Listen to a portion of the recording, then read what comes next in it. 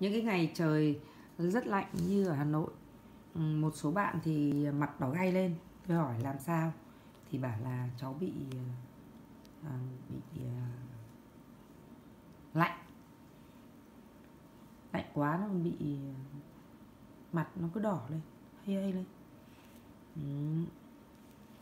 thế rồi tay một số người sờ vào ta nước lạnh thì sau đó bị à, khô chai cứng và những cái da ở ngoài nó cứng lại.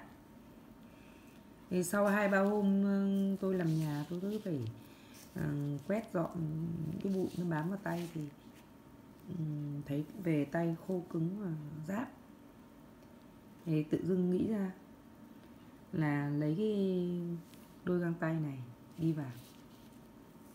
Thì đây là cái kinh nghiệm cũ khi mùa hè mà tôi đi mà những cái găng tay này thì tôi thời gian sau là lúc sau thấy nó ẩm ẩm ở trong thế vì vậy các bạn à, à, nếu mà ai mà tay mà làm cái gì lạnh quá cứng khô lại.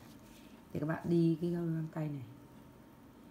Khoảng 10 15 phút nửa tiếng 20 phút thôi là cái da bàn tay của bạn nó sẽ mềm lại lại. Đấy cái bàn tay này của tôi cũng thấy này. Nãy nó khô cứng rồi. Sơn nữa hôm nay làm nhà. Đấy đấy là tôi đi cái đôi găng tay này thì nó giải quyết được cái việc rất là nhanh còn hơn bôi kem nhiều các bạn.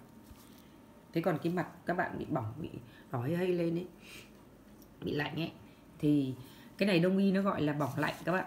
Các bạn à, à, mài củ cà rốt ra. Mài cái củ cà rốt ra xong là à, giã ra vắt lấy cái nước ấy bôi lên mặt. Đấy, nó đặc trị cái bệnh bỏng dạ, bỏng lạnh.